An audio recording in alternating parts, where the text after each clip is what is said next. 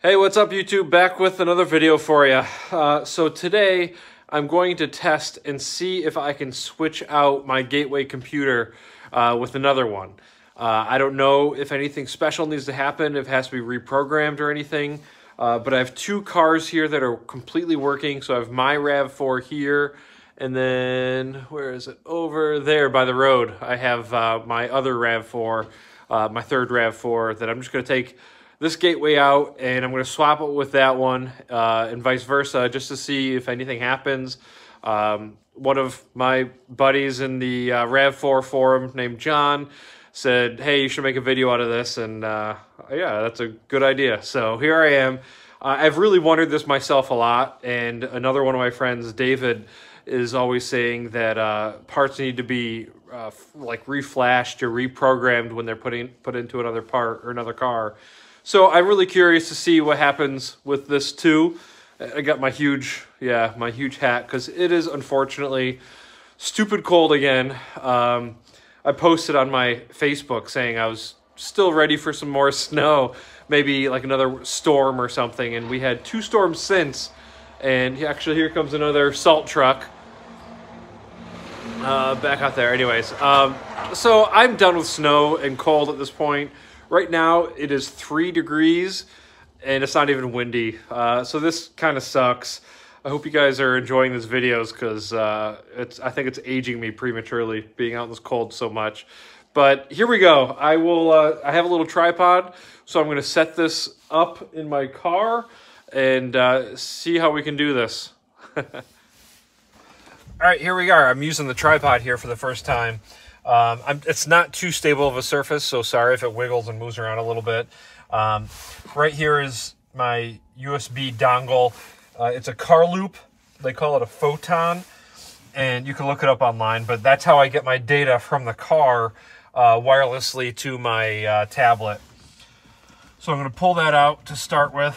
Just wiggle it out and pull it, and you can just see that's how I label it RAV4 and it's it's pretty neat. So you can check that out online. Uh, there, in order to install those or any uh, OBD2 device, you do have to modify this plug. And I've never made a video on it. Uh, maybe I should. It's it's pretty simple, but basically there's a little piece of, of plastic in the middle of this thing that prevents this from sliding in. It's just basically a T that goes across here, and you have to cut that open with a rotary tool with a disc. Just cut it and uh, allow that to, piece to slide in. And then you also have to add power because this plug here does not have any power at all. Um, not sure why they do that. I mean, they must have a powered handheld device or the cord that they slide in there is powered and uh, they don't need power here. But in order to get any data off this, that's how that's how I do it. And as you can imagine, just like pretty much every uh, foreign or Japanese product car, it's good old 10 millimeter. And there's three bolts. There's one up here and two behind this. So these are going to be kind of hard to get to. So that's why I'll need this. And I've never done this before, but um, here we go. I'll give it a try. Actually, before I try this, just out of curiosity, I'm going to unplug this and that uh, those two harnesses, let it sit for a minute, and then uh, reconnect them and see if any warning lights come up on my car. Because, yeah, I'm not charging or anything. Everything's off.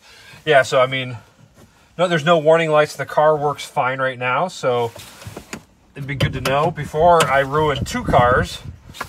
It'd be good to know if this affects anything. So uh, that one's hard to get to.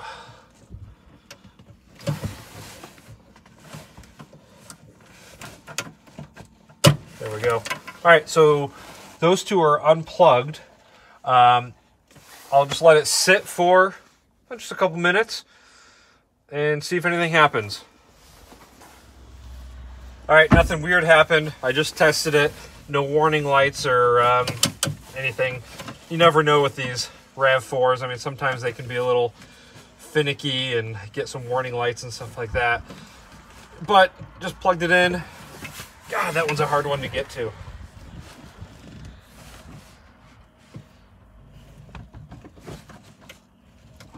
There we go, jeez.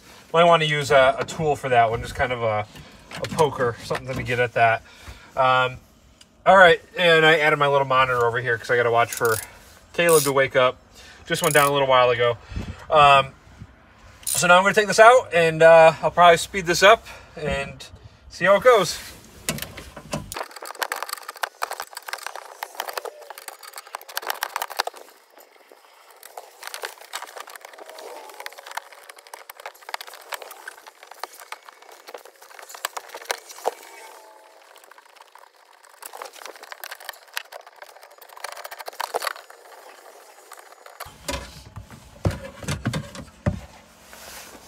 All right, just like that, it's out. Uh, just a few minutes. It's really not so bad. And I'll swap this out and see how it goes.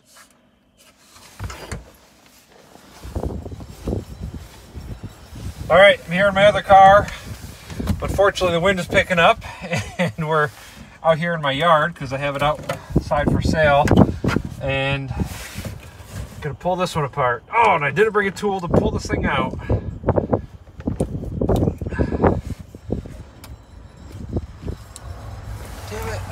Really hard to get to.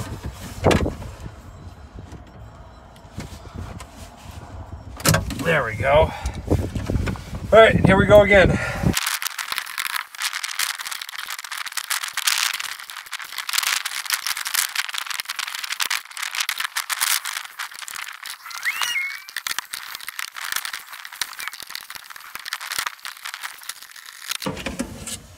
All right, there we go. Uh, the plastic on this one had a lot less give, uh, so that made it harder. The one down here is definitely the hardest to get to. Uh, but here we are. Here's the other gateway. So now I'll take this over and install it into uh, my main car, the my car that I use all the time. All right, before I try this, I thought I'd show you that these are in fact different. So Sorry, man, it's freaking cold. This sucks. so the one here is the one out of the uh, car I just pulled it from. It's a 2013 uh, RAV4 EV. This one is out of my current car right that we're at right now. It's a 2014 RAV4 EV. So this one you can see in the part number. So it is this number right here it is a revision D. A D is the last uh, letter in that number. And this one is a revision C. So they're both the same part, but uh, this one is an older revision, so they made some kind of changes uh, for the second one here that I have. So I'm going to be installing the older one in the newer car. Uh, we'll see if there's anything different. All right, so I don't need to mount the whole thing. All I'm gonna do is put it here in place and connect it. And then I'll start the car and see what happens. All right, there we go. Now, we'll go over and start the car. Actually, let me close the back door, otherwise we'll get a warning for that.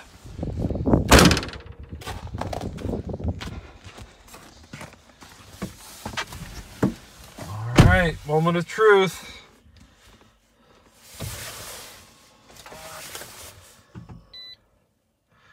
Car went into ready. Uh-oh, got an exclamation check EV system. All right, unfortunately, in the middle of filming, of course, I get a phone call, and I'm using my main phone that I use for myself and my business. And uh, so yeah, so we're back at it. I'm just uh, cycling the car on and off and to see if the code clears. Not worried yet.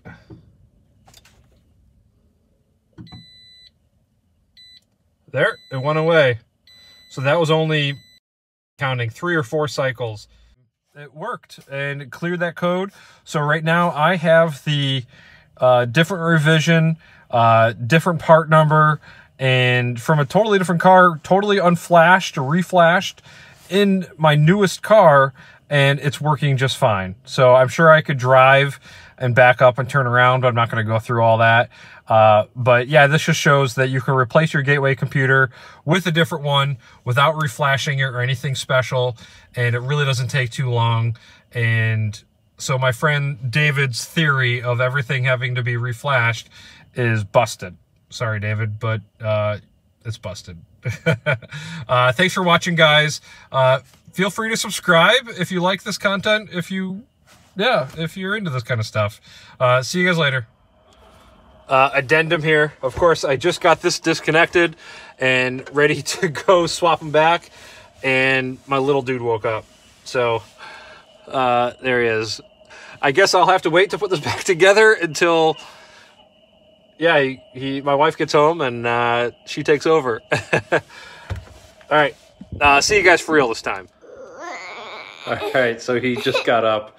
He's usually cranky after his second nap, but I just wanted to give you a quick update on how everything went. He actually went back down after that last video, so he slept for another I don't know, 10, 15 minutes, and I was able to get both of the gateways back into the cars, and uh, as you saw, I had to restart each car. Well, you saw one. Uh, the second one, I also had to do, re, do the restart process and uh, restart it five times.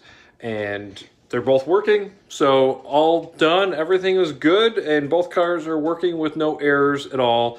And the gateways are mounted and done. Yay. All done.